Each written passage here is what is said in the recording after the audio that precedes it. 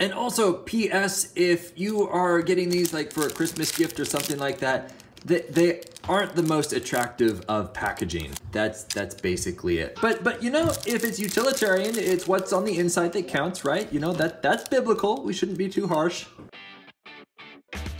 Amazon.com, it's me, Beau Chevassus, coming to you today with this fluffy little creature. But wait, what is on the creature's back? It is this multi-tool hair clip.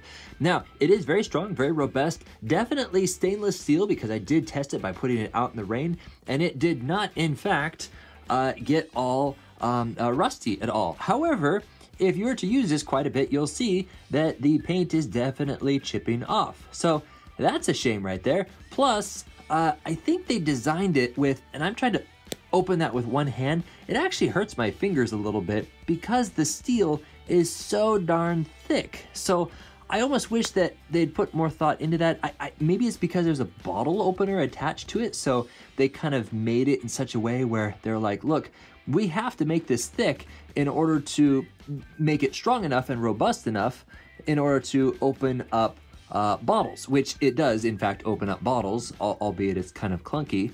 Uh, but you know, if you if you're a frat boy and if you enjoy um, having a hair clip in your beard, ah, see that that it it, it snaps. It's so.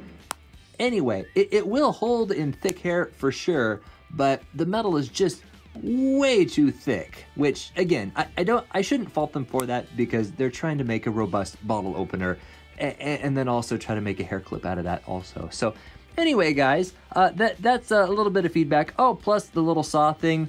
It isn't that robust of a saw. You, you really can't rub through a lot.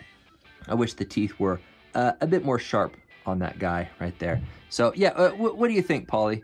There we go. Okay, that's it, everybody. Hope that helps.